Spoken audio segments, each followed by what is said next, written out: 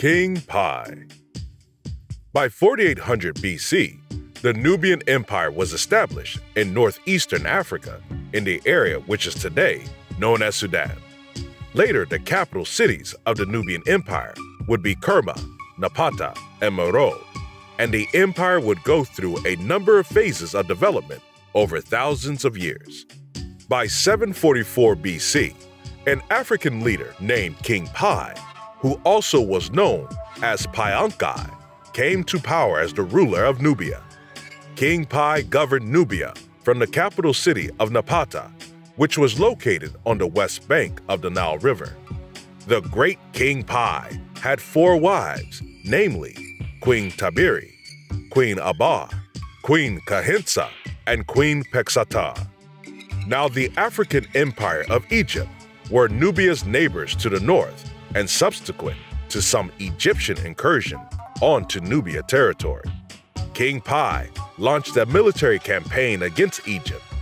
The Nubians' armies swept across Egypt, took control of the cities of Memphis, Karnak, and eventually the entire region of Upper Egypt in the south.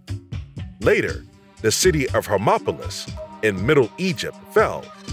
King Piye would completely surround an Egyptian city limit access to food supplies, and demand that they submit to Nubian rule. If the city declined the offer, the Nubians would attack. And so, using this strategy, city after city fell under Nubian control. This great African king was also extremely keen for his troops to perform purification before they engaged in war. He was known to deliver the following command to his armies when ye arrive, ye shall enter into the water, ye shall bathe in the river. The Nubians believed that all warfare was conducted on two planes. The first was the physical, and the second, and more important, was the spiritual.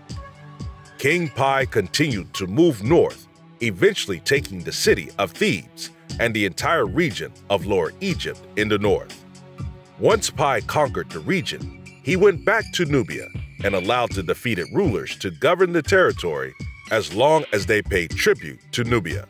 And so, the great King Piye established the 25th dynasty of Egypt and established the Nubian Empire as both the rulers of Nubia and Egypt. Their power over the region would further be consolidated later by the Nubian rulers King Shebitku and King Shabaka this period of Egypt's history is also known as the Napatan period or the Nubian period.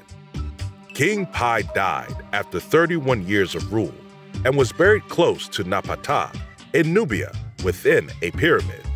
He is remembered as a diplomatic ruler and patient military tactician.